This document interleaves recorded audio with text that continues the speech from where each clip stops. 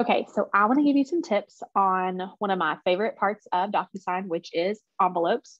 Um, sounds like a weird favorite part, but really it's just that there are so many different features within envelopes that you can do.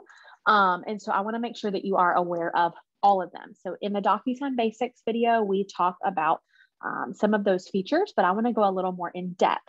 So with envelopes, which is what you use in DocuSign to send documents for signature, um, you have a couple different ways that you can start an envelope. You can either select forms from in here and choose this pen icon to put them in an envelope, which is typically my preference because I find it is just a little bit of a shortcut. You can also go straight to the envelopes tab. So I'm going to just grab a new form from the DocuSign Forms library, the top right, just so that I have one to use as an example that is not um, already signed. So I will grab just this buyer's rep and add it to my room. So in this scenario, I'm going to pretend that I have already filled this out completely, but please remember you do need to fill your documents out within this documents tab. So I'm going to click this checkbox. And again, I can click create envelope or I can go straight to the envelopes tab. I can also right click on the document if I am just doing one document and click create envelope. So you choose what way you prefer and just go with that. So this is generating my envelope for me. And when I get here, a um, couple of these things might be um, repeated from the DocuSign basics, but that is because they are just really important. So first thing is envelope name. At the top, it just says, please DocuSign. We always want to rename this because over the course of a transaction, you're going to have a lot of envelopes. And if you've got seven different envelopes and you've got multiple ones active at the time, and maybe you're having an issue with one or you need to resend one to someone, you want to be able to easily find which one that is, and renaming them will help. So if they're all named Please DocuSign, that makes it a little more challenging. So here I'm going to just name this buyer rep because that's all that's in here right now. Um, and then below that, I can add documents to the envelope. So because I selected the documents within the room, it's already here. If I had gone to the envelopes tab, I would have to choose it from room docs. Now, even if I had forgotten something here, I can click room docs and this will show me all of the documents in the room and I can add any additional ones that I need from here. I can also use a template if you have any specific templates created for any reason. This is what we use to create to um, send lockbox requests and things like that. So that's a scenario where you might be using a uh, template in an envelope. And then more allows me to upload. So if I am uploading from um, my computer, maybe I've got PDFs or something from the other agent and I need to upload that into DocuSign, I can use this upload button right here. I don't have to have necessarily put the PDF in the room at the beginning. Then below that, his recipient. So this is this is where the magic happens. And this is what you really need to focus on and um, commit to memory. So when you add recipients, you're going to have three options. Sometimes you'll only have two. So sometimes you will not see this pre-tagged roles option. Basically, anytime that you're working with just PDFs from the other agent, you will not have pre-tagged roles because pre-tagged roles means that DocuSign has pre-tagged uh, signatures, text boxes, check boxes, things like that for specific roles that are that have to sign the forms. So buyers, sellers, agents, anything like that. So when you see pre-tagged roles, you always, always want to use it because if you don't and you get to the next step and you're having to manually add all the signatures, it's going to easily get frustrating. So you should only have to add manually add signatures when you are working with PDFs. So I'm going to choose pre-tag roles and I'll get a few options. So in this scenario, say I did buyer one and buyer agent. Of course, you would choose whatever pre-tag roles apply to that transaction. And I will be buyer one, and then Lily will be buyer agent. I will add selected. So a couple things about recipients over here. You have these uh, number ones right beside the people to the left. So um, this is signing order within DocuSign. This is super helpful because it allows you to send something for signature and go in a certain order. So if you needed someone to receive it first, um, and then someone else to receive it second, someone to receive a copy third, you can enact all that here. So in this scenario, it would be normal for me to send it to both at the same time. But let's pretend this is a form that maybe you do need to kind of go in a certain order. You want someone else to sign before someone else receives it, anything like that. So I'm going to change that one to a two. And now um, the buyer agent will not receive it to sign until buyer one has signed. Um, if you are going to add somebody else to this, so an example might be maybe your client is signing a purchase and sale agreement or a counter offer, and you want it to automatically go to the other agent once it has been signed, um, just for them to receive a copy of it, a PDF. You could do add recipient, and you can do, um, in this case, either room participants or email address. So you wouldn't do pre tag roles because the person's not signing anything. So there's nothing pre tagged for them. Um, but room participants, if you had added them to the room, which you don't have to do, um, then you could choose that. And if you hadn't, you could just do email address.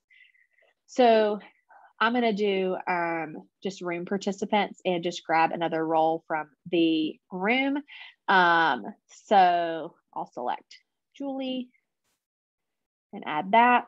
And then what I would do is I would put her to receive it last. So whatever number last is, and then over on the right, it always defaults needs to sign. But on this one, I'm going to change this to receives a copy. Now, I want you to note there's multiple roles here. So there is needs to view. This is going to send them a link they have to click on.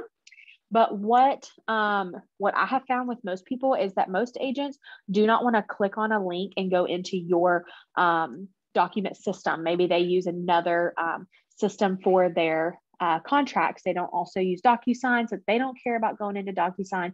They just want a PDF attached. And you may feel the same way being on the opposite end of that when you're receiving them. It's just easier when they send you the PDF and you go and upload it and put all the signatures on it.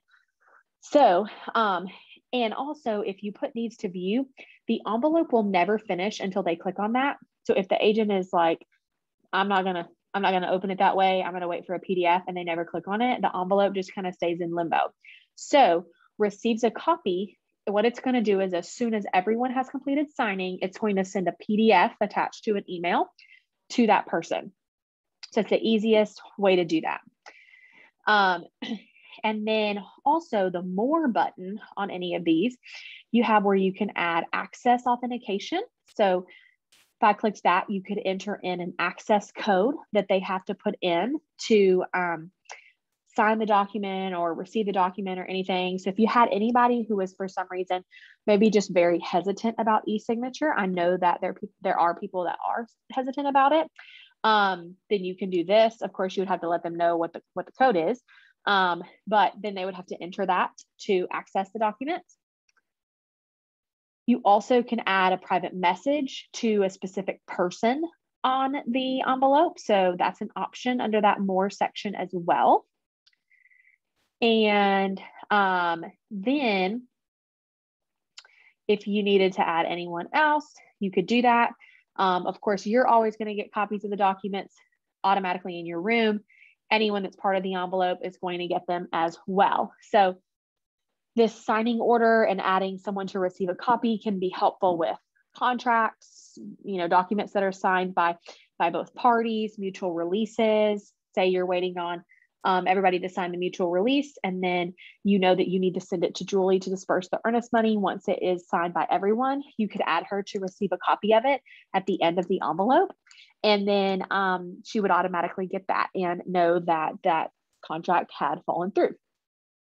And then below that, of course, you have your email subject. Always recommend changing this because um, you want to just be a little more specific. So I like to leave please DocuSign because it shows there is some type of action required for them. Then I like to just put what they're signing because chances are you've let them know that you're sending over a certain document or set of documents. Because remember, you can send one document in an envelope, you can send 10. I mean, um, you can send basically whatever you need. So um, there will be cases where you are just sending one or where you're sending a bunch. So you can also add an email message to them in here as well. This would be a good place if this is a form like a property condition disclosure where they need to fill it out and check boxes or a lead-based paint disclosure where they have to check a box on it, reminding them here that they do need to do that. This would be a good place for that.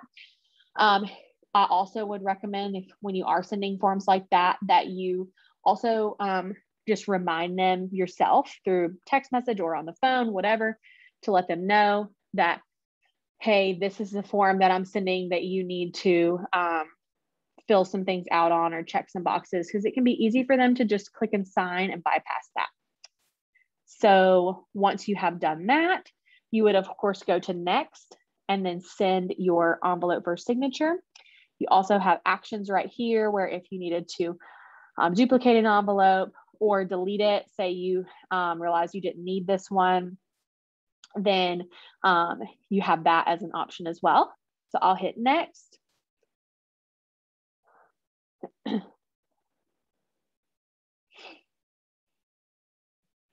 this will pull up my document here. So of course, we'll pretend this was filled out. Of course, it's not a blank document. Um, I have my roles up here in the top left. So I have myself as um, buyer one, and then Lily is buyer agent.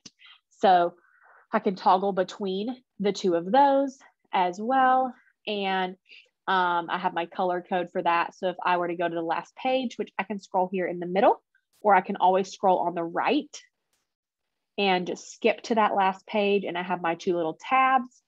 And then I have my signature boxes here and then my date signed boxes. So um, all of those will be here. If you um, get to this point and you realize maybe you missed something that you needed to fill out, if it's just maybe one little thing, you can use these fields over here on the left. If it's a bunch, I would probably go back to the um, to the documents tab and complete it there and then redo your envelope just because it would be quicker. Um, so that's why it's important to make sure you fill out the form fully in the documents tab before coming to your envelope. So I do have a video all about working with um, PDFs and using these fields over here on the left for the different roles.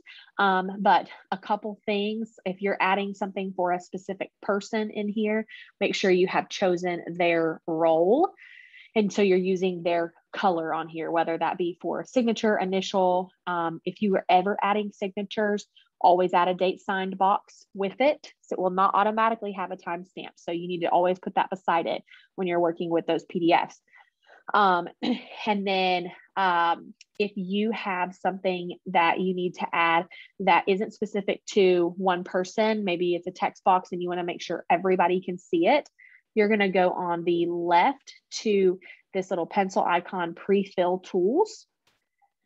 And you could add a text box a checkbox, radio button, anything like that. And that's going to make sure that everybody in the envelope sees it. This isn't assigned to any specific person. So, say you had just forgotten um, to fill out something on a specific line, you can do that. Um, and over on the right side, you can also change the formatting of text boxes that you add within this section. So you can't change the formatting of the ones by default in the room, but any ones that you are adding, uh, you can change that over here on the left. So you do have options like that. So um, those are just a couple little things that you can do within here. And then a little square um, or rectangle at the top left for standard fields will take you back to your standard um, color coded assigned fields. So um, there is a recipient preview button here if you would like to see what it looks like for the recipient to receive the envelope. You can see in the top middle desktop view uh, tablet view and uh, smartphone view. So tablet and smartphone view do have mobile friendly options. A lot of people don't really love the mobile friendly ones because you'll notice it doesn't necessarily look like the form and it can get a little bit confusing.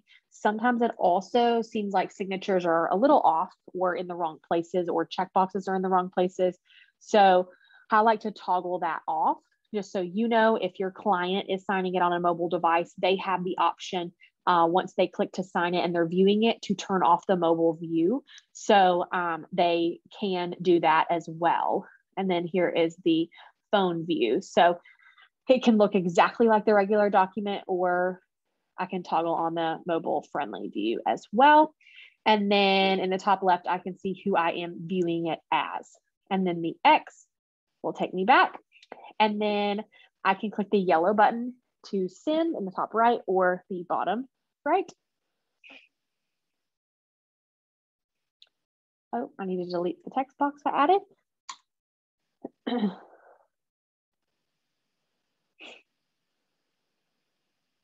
so once you have sent an envelope, a couple things that you'll see, it'll take you to your envelopes tab. You can see the status of it, whether it's waiting for others, needs your signature, um, is completed, anything like that. On the right, you can see when it was last modified. And also right here, you can see how you want to sort it. So newest envelopes at the top, A to Z. I like to have them most recent at the top because I feel like that's helpful. And I can click on that envelope and a couple things that you can do within an envelope you can resend. So if someone uh, says that maybe they didn't get the email and um, or they can't find it or they accidentally deleted it, you can tell it to resend. Or if you're waiting on someone to sign it and they still haven't signed something, you can tell it to resend. It will only notify the people that have not signed. So if one person in the envelope had already signed, it will not resend it to them. It will only send it to the ones that we're still waiting on. Correct is going to allow you to make certain corrections. For example, if you realize that they weren't receiving it because you had put their email address in wrong, you can come here and correct that. So you don't have to start over with a new envelope. It will allow you to correct that. And um, it will still allow you to correct it even if they have already started the, um, like if someone else has already signed, um, you can still make a correction to things like their email address um, for the person who hasn't signed yet. So it won't affect the signatures that have already happened. Um, and then more here will allow you to see what documents were in the envelope, make a copy of it, void it if um, something maybe you they received it and then they realized something was incorrect on there and you needed to redo it. Um, maybe they changed some things within the contract or a name was spelled wrong on a bunch of different places or anything that made it where you needed to resend them anyway. And so they weren't going to sign them, you can void it. This will notify the client that the envelope is voided. But the reason it's good to do that is because they cannot click on that and sign anymore. So that way, when you send them the new one, they'll only be able to sign that. They will not be able to do anything with the voided one. And then you can view envelope history. So that is a little bit of envelopes 101. Hopefully that gives you some good tips on using those to your advantage.